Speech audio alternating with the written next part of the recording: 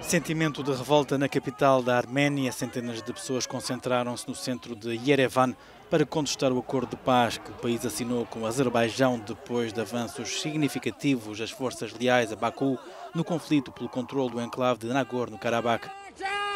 O primeiro-ministro considera não ter tido alternativa.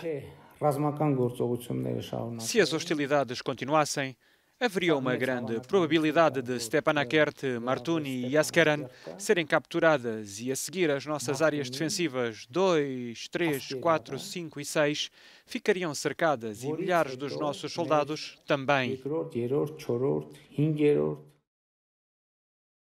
O acordo assinado na terça-feira prevê que a Arménia retire as suas forças de várias províncias azeris ocupadas no início dos anos 90 e adjacentes a Nagorno-Karabakh, mas manterá controle dos territórios povoados por arménios numa região considerada desde 1921 uma república autónoma juridicamente sob soberania do Azerbaijão.